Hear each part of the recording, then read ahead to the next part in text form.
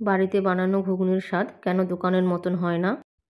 এই ধরনের প্রশ্ন অনেকের মনেই জাগে, তাই আপনাদের জন্য নিয়ে এসেছি সিক্রেট মশলা দিয়ে বানানো ঘুগনির রেসিপি। নমস্কার বন্ধুরা, কিচেন ম্যাজিক খাজানা চ্যানেলের আরও একটি নতুন পর্বে আপনাদের সবাইকে স্বাগত।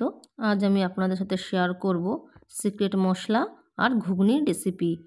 যতবার এই মশলা দিয়ে ঘুগনি বানাবেন, ততবারই স্বাদ হবে পুরো দোকানের মতন। তাহলে চলুন একদম দেরি না করে একসঙ্গে দুটো রেসিপি দেখে নেওয়া যাক। এখানে আমি অনেক রকমের মশলা নিয়ে নিয়েছি। এক চামচের মতন সাদা গোটা জিরে, এক চামচ গোটা ধনে, এক চামচ গোটা মৌরি, হাফ চামচের মতন জোয়ান, এক চামচ কাসৌরি মেথি। এখানে আছে পাঁচটা শুকনো লঙ্কা, গোটা গরম মশলা। গোটা গরম মশলার মধ্যে আছে তিনটে এলাচ, পাঁচ ছটার মতো লবঙ্গ, দুটো দারচিনির টুকরো, এক চামচ গোটা গোলমরিচ আর দুটো তেজপাতা। আর নিয়েছি হিং। এটা হচ্ছে আমচুর পাউডার। আর নিচে ছোট বাটিতে আছে কালো জিরে। সব উপকরণ আমি ডিসক্রিপশান বক্সে দিয়ে দেব। আপনারা দেখে নেবেন। হিং আর আমচুর পাউডার বাদে সব মশলা আমি শুকনো খোলায় টেলে নেব। তার জন্য একটা প্যান বসিয়ে দিয়েছি। এবার প্যানের মধ্যে দিয়ে দিলাম তেজপাতা। পাঁচ ছটার মতো শুকনো লঙ্কা দিয়ে দেব।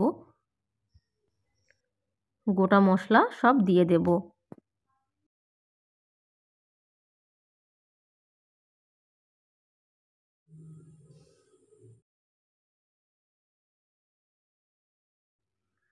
গ্যাসের ফ্লেম একদম লোতে রেখে আমি দু থেকে তিন মিনিটের মতন ভেজে নেব সব মশলা। মশলার কালার চেঞ্জ হয়ে এসছে। এবার আমি গ্যাসের ফ্লেম বন্ধ করে দেব। তারপর মশলা একটু ঠান্ডা হয়ে এলে মিক্সিতে গুঁড়ো করে নেব। সব গোটা মশলা আমি গুঁড়ো করে এই পাত্রে ঢেলে নিয়েছি। পুরো মিহি গুঁড়ো করিনি হালকা আধ ভাঙা আছে। এবার আমি এর মধ্যে মিশিয়ে দেব হাফ টিস্পুনের মতন হিং। এবার আমি এর মধ্যে মিশিয়ে দেব হাফ টিস্পুনের মতন আমচুর পাউডার। আমচুর পাউডার আপনাদের কাছে না থাকলে আপনারা চাট মশলা মিশিয়ে দেবেন। সব মশলা ভালো করে মিশিয়ে নেব। আপনারা এরকম মশলা বানিয়ে যে কোনো এয়ারটাইট কন্টেনারের মধ্যে ভরে তিন থেকে চার মাসের মতন ব্যবহার করতে পারবেন। নিরামিষ কিংবা আমিষ যে কোনো ঘুগনিতে ব্যবহার করতে পারবেন। এবার চলুন দেখে নেওয়া যাক ঘুগনির রেসিপি আজ আমি যে ঘুগনি বানাবো সেটা একদম নিরামিষ, পেঁয়াজ, রসুন ছাড়া। আমি এখানে চারশো গ্রামের মতন মটর নিয়ে নিয়েছি।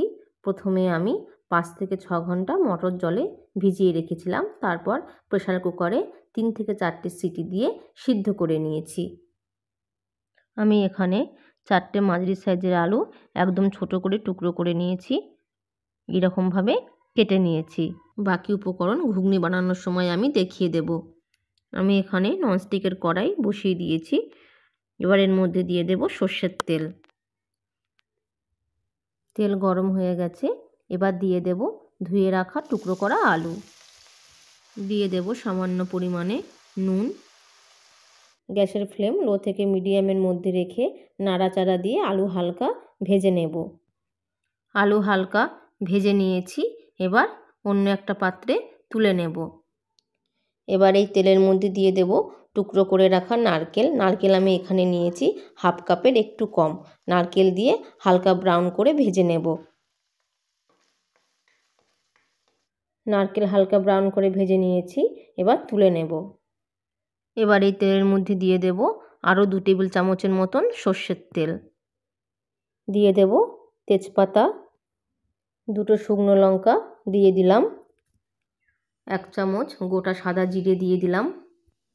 দিয়ে দেব ওয়ান টিস্পুনের মতন চিনি, কালার এবং স্বাদের ব্যালেন্স ঠিক রাখার জন্য দিলাম। নেড়ে চেড়ে মিশিয়ে নেব। ফোড়ন তিরিশ সেকেন্ডের মতন নাড়াচাড়া দিয়ে ভেজে নিয়ে এবার এর মধ্যে দিয়ে দেবো একটা বড় সাইজের টমেটো।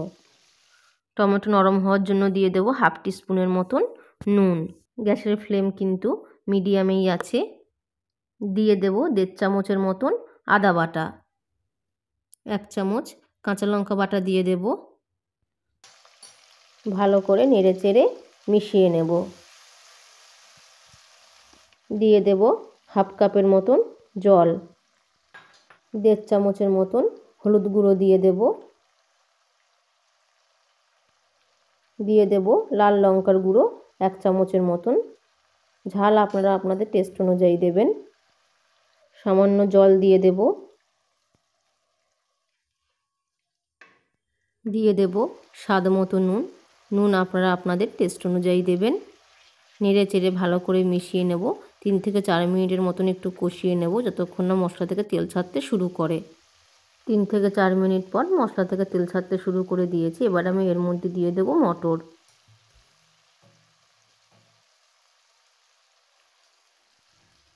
মটর সিদ্ধর জলটাও এবার দিয়ে দেব।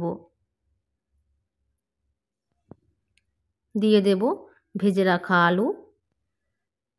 নেড়ে চেড়ে মিশিয়ে নেব।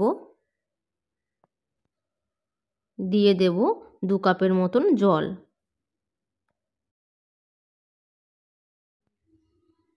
গ্যাসের ফ্লেম মিডিয়ামে রেখে খানিকক্ষণ এইভাবে ঘুগনি রান্না করে নেব।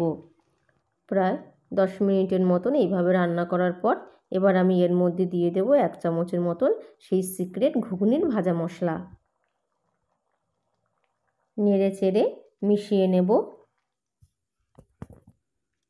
এবার দিয়ে দেব ধনে পাতা কুচি, দিয়ে দেব ভাজা নারকেলের টুকরো।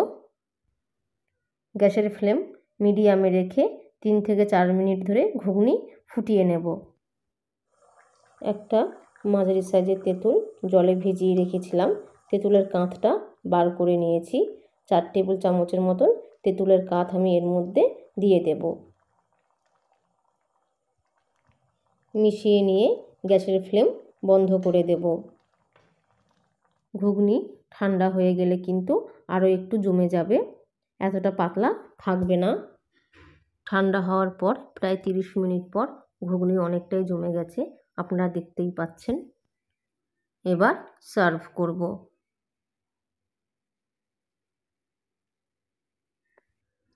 উপর থেকে দিয়ে দেব একটু ধনে পাতা কুচি। দিয়ে দেব ভাজা নারকেল কুচি। এক চিমটি করে বিট নুন দিয়ে দেব। দিয়ে দেব মিহি করে কুচিয়ে রাখা কাঁচা লঙ্কা। হাফ টিস্পুন করে পাতিলেবুর রস দিয়ে দেব। দিয়ে দেব শশা কুচি।